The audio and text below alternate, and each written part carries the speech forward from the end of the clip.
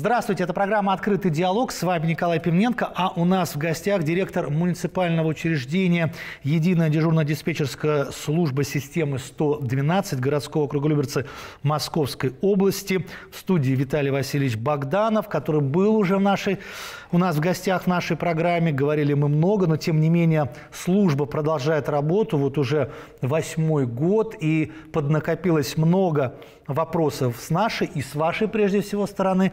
И есть конечно же, ответы у службы. Ну, начнем прежде всего с неких итогов работы, чем сейчас живет служба, и вы, как руководители, ваши люди, как вообще система работает. Здравствуйте, уважаемые телезрители. Сегодня у нас очередной эфир, и я расскажу вам о том, как в настоящее время работает система 112 и что в Подмосковье делается для того, чтобы сервис службы был для вас более удобным, полезным и востребованным. Кратко напомню об основных итогах работы. Как уже сказал ведущий передачи, система 112 Московской области работает уже восьмой год. Ярким доказательством того, что служба востребована, является то, что 90% вызовов всех экстренных оперативных служб на территории Московской области сегодня осуществляется по единому номеру 112. Если говорить об основных итогах непосредственно нашей Люберецкой ИДД-112, то они следующие. В 2021 году принято и обработано более полумиллиона обращений жителей. За неполные 9 месяцев текущего года свыше 350 тысяч. За 7 лет работы ГДД-112 городского округа трижды занимала Московской области первое место, трижды второе, один раз третье. И кроме того, в 2019 году Люберецкая ИДД-112 заняла первое место в Центральном федеральном округе. А вот сразу можно же вопрос по поводу... То есть, я так понимаю, это очень важные такие, ну как конкурс, не конкурс, когда э, по каким показателям сравнивают? По работе операторов, по быстрому выполнению, по сигналам? За а. что первое место получают?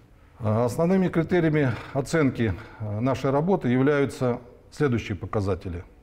Это а, знание нормативно-правовых актов угу. и руководящих документов, регламентирующих нашу деятельность, практические навыки и э, умение правильно использовать технические возможности тех э, систем, которые находятся в нашем распоряжении. Безусловно, э, жесткое исполнение тех э, нормативов, норм и правил, которые э, нам э, установлены действующими документами. И таким образом, по результатам Э, всех этих показателей принимается решение о том, насколько успешно или неуспешно э, каждая из муниципальных служб решает свои задачи и э, выполняет те функции, которые на нее возложены. И вот эти вот сравнения, скажем так, происходят постоянно. Ежегодно проводится ежегодно. Вот, проверка. Вот мы сейчас как раз вступаем в очередной, в очередной, да, угу. в очередной период, в течение которого будут проверены все муниципальные службы вот по всем тем показателям, которые я перечислил. Ну и теперь вот э, самый такой э, огромное количество цифр, но сутки, да, это же самая такая да. э, рабочая единица, 24 часа. Сколько вызовов приходит? Совершенно верно. Вот как раз сейчас я об этом и хотел сказать. Ежедневно в соответствии с действующим нормативом, угу. а это один оператор на 50 тысяч населения – в составе дежурной смены работает 7 операторов. Так. В сутки принимается до полутора тысяч вызовов. Угу. То есть на каждого специалиста приходится более 200 обращений, обращений жителей. 200 обращений. И сколько, а я так понимаю, мы переходим тут как бы уже ко второй части нашего разговора. Сегодня, а, вот перед началом программы, мы решили не только о внешней, так сказать, стороне поговорить, но очень важно о внутренней, потому что, вот смотрите, если у нас что-то случается, мы дозваниваемся в службу или в систему, да, и в этот момент мы все-таки думаем прежде всего о себе, да, о каких-то тех проблемах, которые связаны с нами, или, может быть, не о себе, а о соседях, если мы кому-то помогаем. Этот звонок принимает оператор, да. то есть конкретный человек. Вы говорите, что 200 звонков. Это же каждому нужно уделить внимание, и, наверное, звонки бывают разные. Кто-то быстро сообщил, там, у нас пожар, адрес такой-то, ну, как там положено. А кто-то, может быть, э, хочет поговорить. Вот как это все? На, на... Есть какая-то ведь норма, он же не может да. говорить с одним час, с другим три секунды. Прежде чем ответить на ваш вопрос, я напомню, что традиционно более 50% вызовов приходится на долю скорой медицинской помощи, угу. до 20 полиции и ГИБДД. Угу. Вызовы пожарных и специалистов аварийной газовой службы, к счастью, не превышают 1%. Да. Ага. Вот оставшая часть, примерно четверть, приходится на справочные, необоснованные, на необоснованные, есть такая категория, и хулиганские вызовы, которые, опять же, к нашему счастью, на сегодняшний день сведены к минимуму.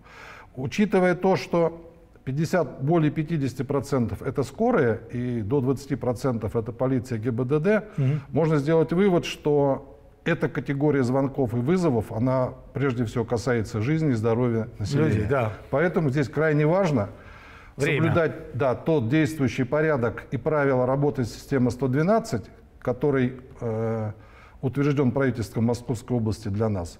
Ну и э, о чем я еще потом отдельно скажу, это, несомненно, надо э, принимать во внимание и помнить об этике поведения как оператора, так и заявителя в процессе общения. Вот в предыдущей передаче у нас с вами шла речь о работе ЕДДС-112 в условиях чрезвычайных ситуаций природного техногенного mm-hmm. характера. Mm-hmm. Зрители помнят. Сегодня же я предлагаю поговорить о той стороне работы службы, которая зачастую не видна и о которой мы порой не задумываемся. Но она важна, так как в ряде случаев именно наши неправильные, неграмотные действия при обращении на 112 создают проблемы в работе операторам и вызывают э, недовольство жителей. Угу. Работ... Ну, то есть это как бы э, вина, ну не то, что вина, это если человек дозванивается и очень долго что-то начинает рассказывать, да. ему говорят, что все это нам понятно, ясно, да, или скажите суть, иногда до сути, пока человек дойдет. Да, то либо есть... время ожидания, о чем я позже mm-hmm. потом скажу, той же скорой помощи. Так, и как же тогда тут выходить нам вот, из этой ситуации? Значит, Работа службы 112 строго регламентирована утвержденным правительством Московской области порядком работы система 112. Так. Соответственно, все участники информационного обмена обязаны строго соблюдать действующий порядок и правила, в том числе установленные временные нормативы. Это касается как операторов, так и заявителей. Но заявитель же не в курсе этих да, нормативов. вот именно по этой причине я сегодня об этом хочу вот, поговорить давайте, более подробно. Давайте, да. Потому что не знаю, память имеет свойство, в памяти имеет свойство стирать какую-то информацию, а она в данном случае крайне важна. Поэтому вот на этом моменте, э, на моменте важности соблюдения действующих норм и правил, я как раз остановлюсь сейчас подробнее. То есть жители при обращении на номер 112 должны помнить, что операторы, первые, строго ограничены по времени опроса заявителей, по заполнению карточек происшествий, потому что весь информационный обмен у нас идет на основании электронных карточек происшествий. Угу. Вот. И передачи их, соответственно, в экстренные оперативные службы. Оператор не имеет права направить в экстренную оперативную службу карточку с незаполненными полями. Это ЧП. Угу. Соответственно, он обязан получить информацию. всю необходимую информацию для того, чтобы те службы, которые обязаны отреагировать, своевременно это получили и понимали, на что они реагируют. к месту. Угу. Да.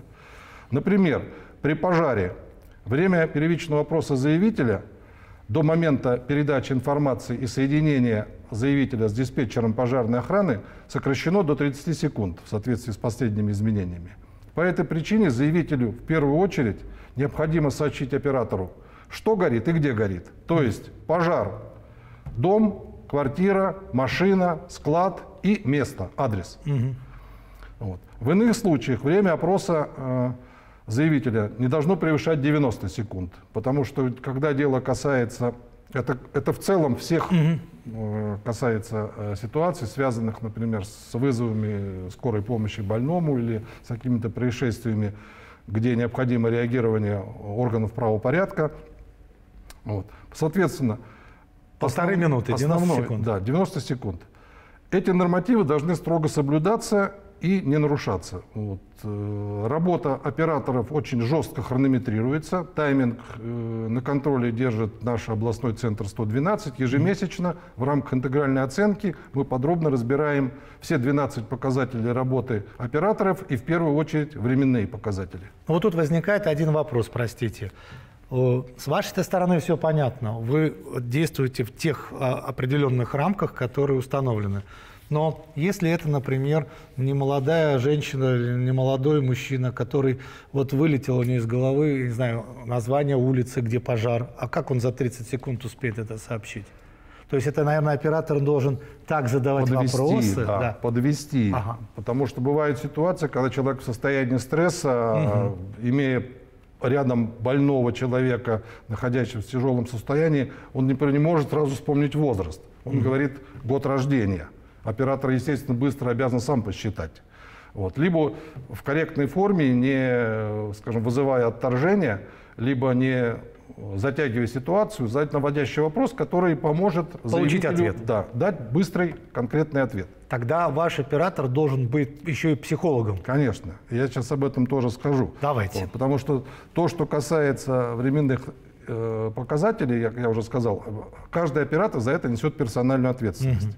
Второй момент, на котором я хочу остановиться, это именно э, этика отношений, корректное поведение и уважительное отношение друг к другу со стороны, в первую очередь, оператора, но и в такой же степени со стороны заявителя. заявителя.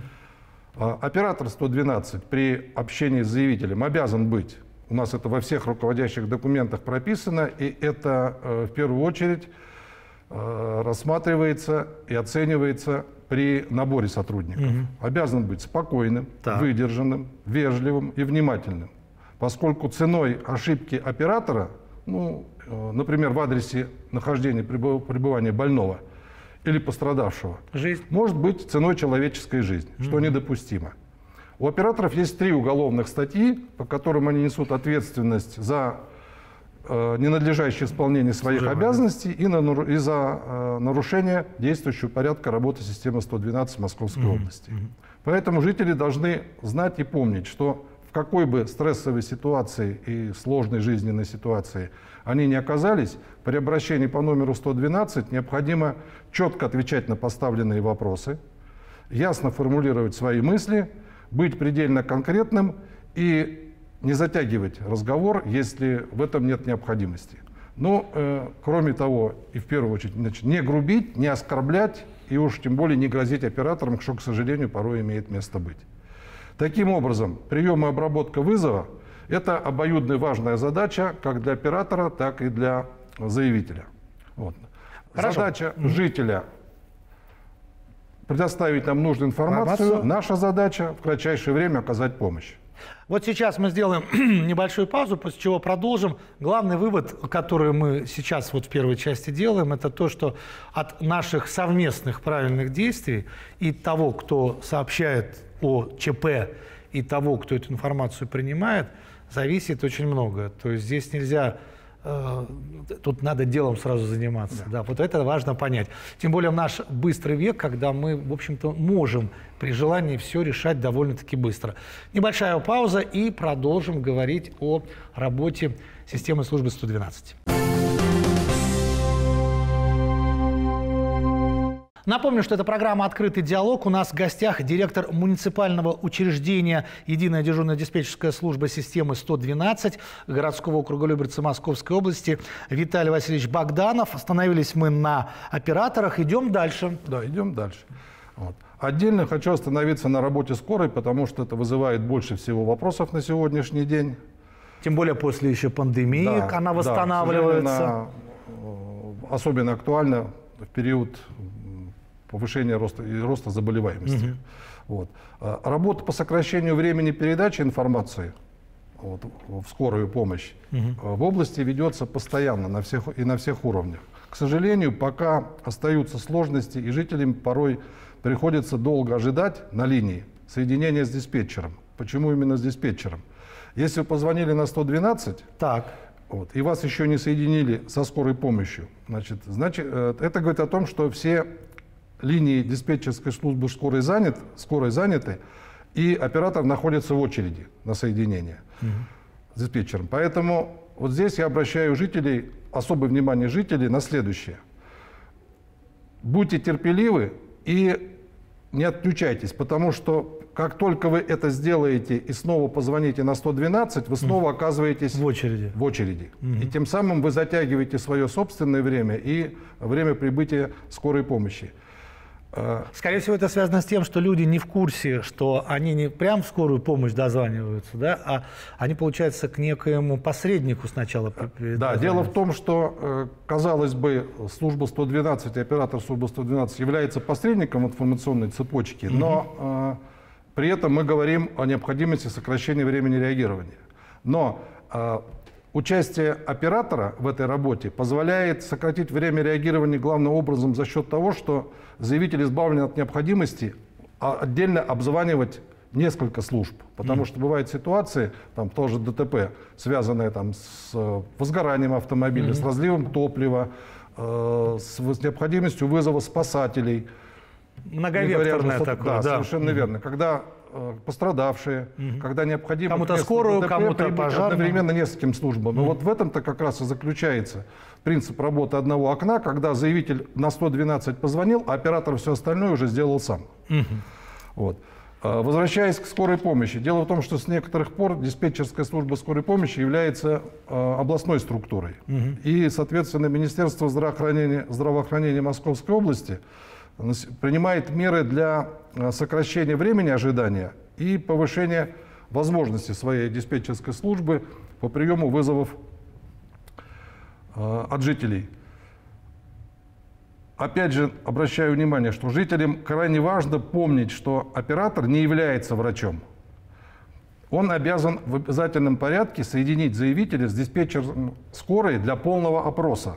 Именно диспетчер скорой по симптомам болезни Будет понимать, назначает что... к выезду нужную бригаду специалистов и, и ставит в нужную очередь. Устанавливает, да. Нет, и самое главное, устанавливает форму угу. вот, вызова. То есть либо экстренную с доездом до 20 минут, это при э, внезапных острых заболеваниях, состояниях и обострении хронических заболеваний, представляющих угрозу жизни пациента. Или неотложную с доездом за, до двух часов. Это аналогичные ситуации, но без явных признаков угрозы жизни. Угу. Время доезда скорой э, по факту констатации смерти не регламентируется. Но, как правило, бригада скорой в данном случае пребывает в течение суток. Угу.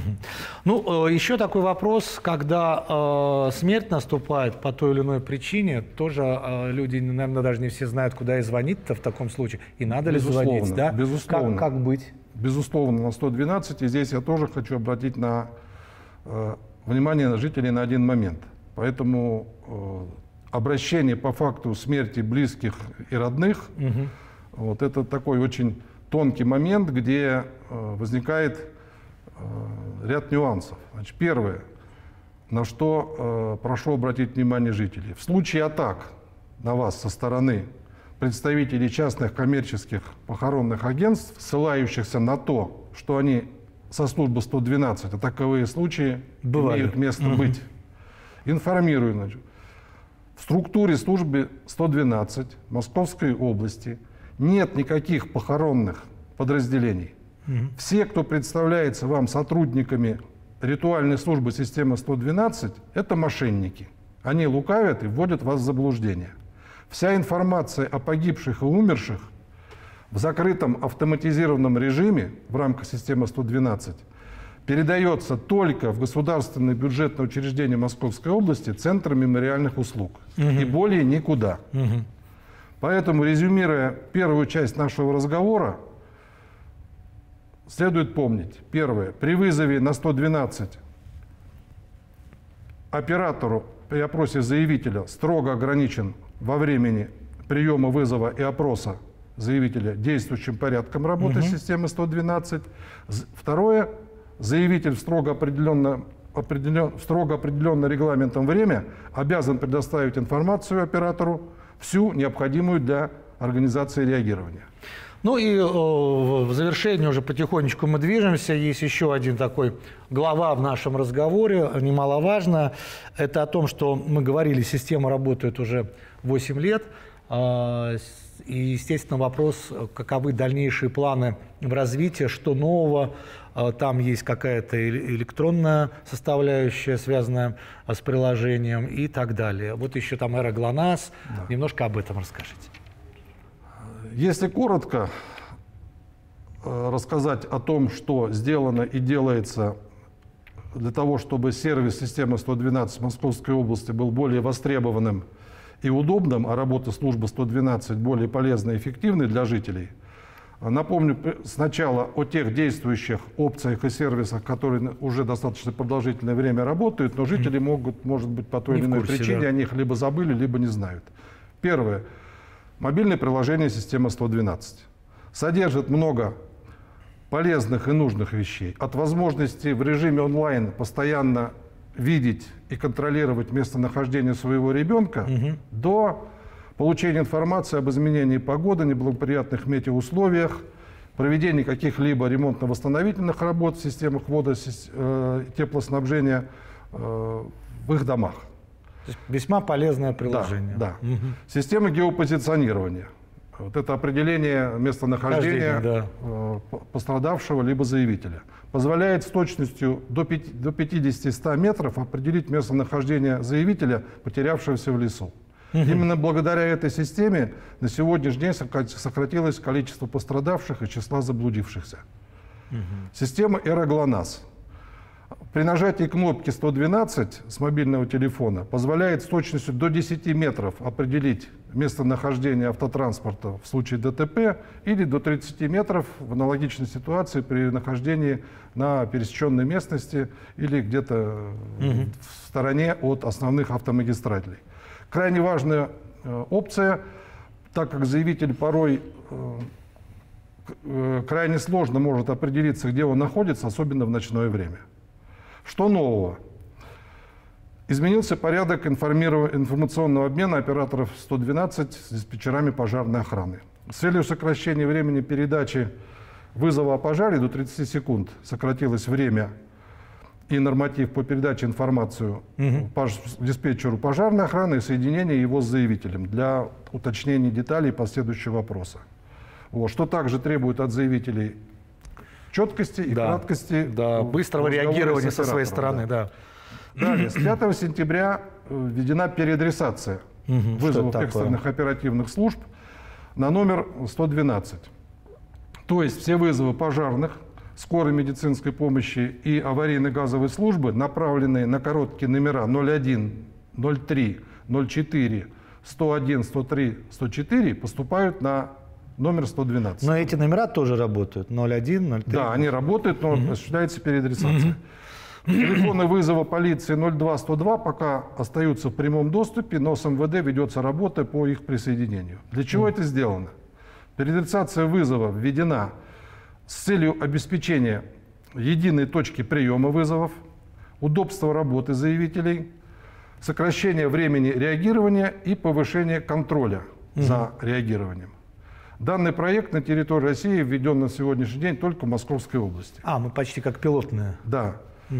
Вот. Говоря о этике э, взаимоотношений и э, поведении при разговоре с оператором. Угу. К концу текущего года с целью пресечения грубости и бестактности со стороны операторов, что, к сожалению, имеет Бывает. место быть, угу.